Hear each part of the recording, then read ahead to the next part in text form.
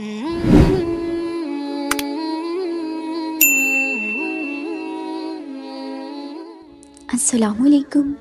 वरहमतुल्लाहि वबरकातुहू welcome to रूहानी वर्ल्ड बहुत खुश आमदीद, नाजरीन।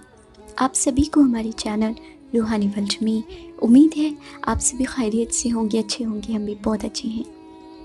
आज हम आपको बताने वाले हैं एक ऐसा प्यारा अमल जिसमें रूहानियत कूट कूट की समाई हुई है। और बहुत से लोग जो रूहानियत के शौकीन हैं, रूहानियत का शौक़ रखते हैं और चाहते हैं कि उनमें कमाल की रूहानियत बेदार हो, उनके लिए ये अमल है। बहुत प्यारा ये अमल है, बहुत छोटा सा ये अमल है। किसी चीज़ की इसमें कोई ख़ास शराइ नहीं है। जो भी है, बेसिक्स हैं अमलीत की, रूहानियत की, वो आप जानते ही होंगे। अगर आप जानते हैं तो इन आप इस अमल को बहुत ही आसानी से कर सकते हैं। इसमें पाक अल्लाह, इसी में सब कुछ है। ये तो आप जानते ही होंगे, ना इसके बाहर कुछ है, ना इससे अलग कुछ है।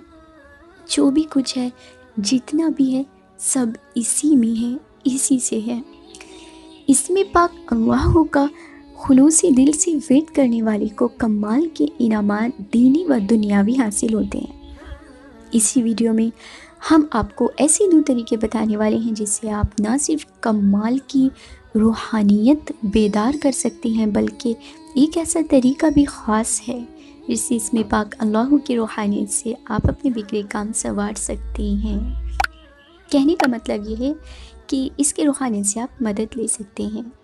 अगर आप नमाज़ों के पाबंद हैं और आप रूहानियत बेदार करना चाहते हैं तो हर नमाज़ के बाद बावजू इसमें पाक अल्लाह को पढ़ना है एक तस्बीर अव्वल वाक़ी दरुद पाक इब्राहिमी के साथ में। किसी से बात ना करें, तवज्जो रखें, खलूसी दिल के साथ पर इन इस अमल को जारी रखेंगे कंटिन्यू रखें और आप देखेंगे कि कुछ ही वक्त के बाद आपको रूहानियत के गैब के मुशाहिदात होने लगेंगी। नेक सिफत आप होनी चाहिए और इसके साथ साथ नमाज़ों की पाबंदी भी रखिए। इसमें पाक अल्लाह से कमाल हासिल करने के लिए पहली जो शर्त है, वो यही है कि आपको शरीत पर अमल करना है। शरीत की पाबंदी रखनी है, क्योंकि बिना शरीयत की पैरवी किए बगैर कोई भी रूहानियत को कभी भी हासिल नहीं कर सकता।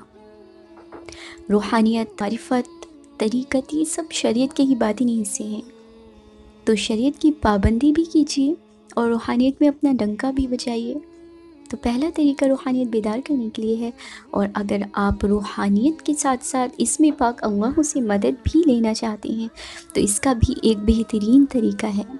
वक्त मुकर पर इसमें पाक अल्लाह को खुश दिली से अपने नाम के अदद के बराबर विद कीजिएगा। देखिएगा इन कैसे अल्लाह पाक आपसे राज़ी होता है, कैसे कमाल की रूहानियत आप हासिल करते हैं। उम्मीद है नाजरीन, आपको बात समझ में आ गई होगी।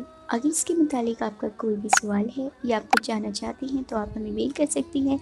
इंस्टाग्राम पर आप हमें डी भी कर सकते हैं। तो दुआओं में याद रखिएगा। मिलते हैं। जजाकल्ला